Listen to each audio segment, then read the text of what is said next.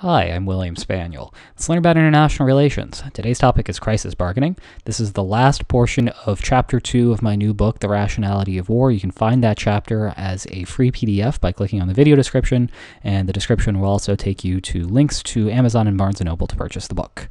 That self-promotion aside, remember that the question that we've been asking repeatedly over the last few videos is, can war be mutually beneficial? We know that the answer is no. We've seen that in the algebraic model, and we've seen it in the geometric model, but at some point we're actually going to want to understand why wars happen, and we're going to do that by looking at game theoretical models. But first we need our baseline game theoretical model, which is what we're taking care of in this video. And so we're only actually going to make one additional assumption to get this game theoretical model, and the assumption is this. So we're going to assume that A controls the entire good at the start and is going to give B a take it or leave it offer. So in the context of the geometric model that we talked about in the last video, where the states were bargaining over a strip of territory, you can imagine this as though A controls all of that land to start. And so A is just going to sort of move back away from its border with B and say, all right, B, we're going to demand to keep all of this, but we're going to give you the rest of this. And you can either accept that and take over that territory, or you can start a war and try to get more territory from us. It's your choice. So if B accepts that offer, then the settlement is implemented, the new border is essentially drawn, and if B rejects, then the states fight a war just as they have before. So the way we can look at this in a game theoretical model is by drawing a diagram that looks like this. So to sort of go through what's what's going on here, A begins the game by making an offer sized X this is really a demand X. So X is the amount that A is demanding to keep. It can be any amount between 0 and 1, because remember the object is worth 1. That's everything. It's 100% of the good. B sees this demand size that A makes and either accepts or rejects. If B accepts, then A gets to keep all of X, and B gets to keep the remainder of A's demand, which is 1 minus X. And if B rejects, then we have this, this actor here called N, which represents nature choosing randomly whether A wins the war or B wins the war, because remember, if B rejects and they fight a war, and if A wins, that occurs with probability PA, then A gets the entire good worth 1, but pays its cost of war, CA, and B just gets nothing, but still has to pay its cost, CB. On the other side, if B wins, then that happens with probability 1 minus PA, then A doesn't get anything but pays its cost, negative CA, and B, meanwhile, gets everything, the entire good, worth 1, but still has to pay its cost CB. So to solve this game, you intuitively might think that we should start at the top and work our way downward. The problem with that is that whatever is optimal for A at the beginning depends upon what's optimal for B and whatever's optimal for B depends upon what nature does. So instead of working from the top to the bottom, we actually have to work backward. We have to start at the bottom and work our way to the top. In game theory, we actually call this concept backward induction, but it's not worth actually going over what that is in detail. Just, you know, take my word for it that this is smart to go from the bottom to the top for the reasons I just gave. And if you're really interested, then you can look up some videos on YouTube about backward induction from me, and I'll go into a little bit more depth about that. But if you're going to take my word for it, then let's get ahead with this game and start at the bottom and work our way up to the top. So we're going to start with the nature's move. Nature, again, remember, isn't strategic. It just chooses randomly between two things happening. So really what we're interested in doing is simplifying this and instead of having all of these different outcomes, these two outcomes with a lot of different payoffs with probabilities thrown into them, what we'd like to do is just to simplify those into payoffs. So think about A's war payoff here. A's war payoff, well, there's two things that can happen. With probability PA, A wins and A earns 1 minus CA. So with probability PA, A earns 1 minus CA. So PA times 1 minus CA. And then we got to add what happens when B wins the war. So with probability 1 minus PA, B wins, and A pays its cost negative CA. So 1 minus PA times negative CA. That's A's war payoff. And we can do some simplification here, and we eventually get to PA minus CA, which is exactly what we've seen before in the other models. So nothing too unexpected there. It's exactly like it was before. We can do the same thing for B's war payoffs.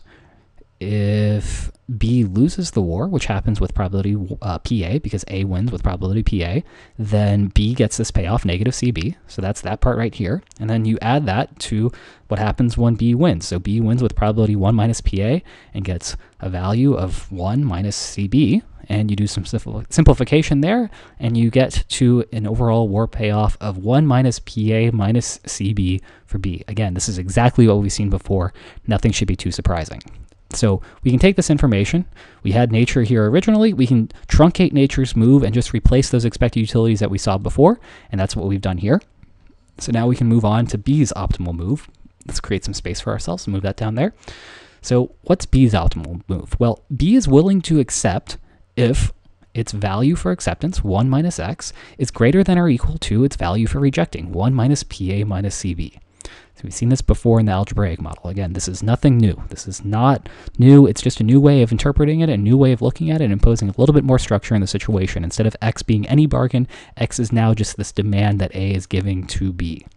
So 1 minus x is the remainder of that demand. It's what's being offered to B, and as long as what's being offered to B is more than what B can get out of war, then B is satisfied. And so if you do some simplification here, we see that B is satisfied as long as the demand size X, that's A, how much A is demanding, as long as A demands less than or equal to PA plus CB, B is willing to accept. So now let's think about this from A's perspective. If A demands more than PA plus CB, then what happens? Well, B rejects, and A earns PA minus CA. Okay? Now, that's one thing that could happen. The other thing that could happen is that A demands less than or equal to PA plus CB. So what happens if A demands no more than PA plus CB? Well, B is going to accept that, and A earns X. Now, here's a little bit of a tricky part here. A's payoff is increasing in X. Remember that A's demand size is X, so X is the amount that A gets to keep. A obviously wants to keep as much as it possibly can, so A's payoff is therefore increasing in X and wants to make X as large as it possibly can, given the fact that if A makes too much of an offer or too much of a demand, then B is going to reject. And so A's optimal acceptable offer here is PA plus CB, right? Because if A were to demand anything less than that, A could demand just slightly, slightly more and get B to accept that offer. So that's why A's optimal demand is the most that B is willing to let A have without starting a war. So the last thing we have to do here is just compare what's better for A. Option one is to offer X equals PA plus CB and induce B to accept that offer. Or option two is to demand more than PA plus CB and have B reject that offer. So if a makes this acceptable offer, then it gets, or acceptable demand, then it gets its demand value, which is PA plus CB. And if A makes an unacceptable demand, then A ends up with its war payoff here, PA minus CA.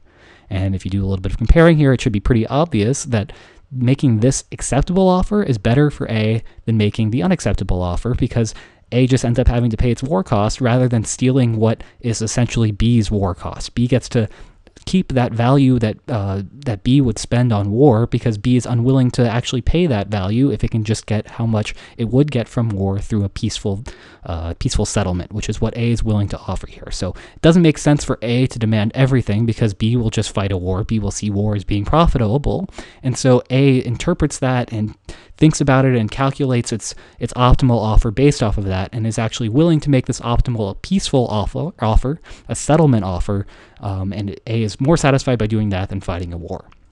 And so our outcome here is is pretty simple. A demands X equals PA plus CB, B accepts, and peace prevails. So that is the conclusion of this crisis bargaining model, but a roadmap for the future here Remember that all of the models that we've discussed so far, the algebraic model, the geometric model, and the game theoretic model, all we've seen here is peace. Peace is the outcome every single time. But we know that in practice we see wars occurring. We still want to know why. And one reason that this might uh, we might have this discrepancy here is that we have models that are way too simple. And so our roadmap going forward is to relax some of these really strong assumptions. So some of the strong assumptions that we've made in these models implicitly is that power remains stable through time. No one's getting stronger over the course of, you know, the year or two or three or four years or however long. Everyone is just remaining equally powerful at all times. Everyone also knows each other's strength a knows how strong B is, B knows how strong A is, A knows how much B will pay in war costs, and B knows how much A will pay in war costs. That's a very strong assumption. We've also assumed that the object is infinitely divisible, like land is. Well, land is infinitely divisible, but you know, people like say Osama bin Laden, they're not infinitely indivisible. If we chop off Osama bin Laden's torso, well, that means whoever wanted Osama bin Laden to still remain alive doesn't really get anything. So you can't really bargain over people. That's a strong assumption. And we've also assumed that there aren't any first strike advantages. I don't get any advantage from surprising you by catching you off guard, telling you, oh, yeah, I'm happy with peace, and then suddenly striking a war while you're not prepared. So those are all very strong assumptions, and now we're going to relax them in the upcoming videos. So when we relax these assumptions, we'll actually see that war is the result, and we'll call these explanations for war rationalist explanations for war.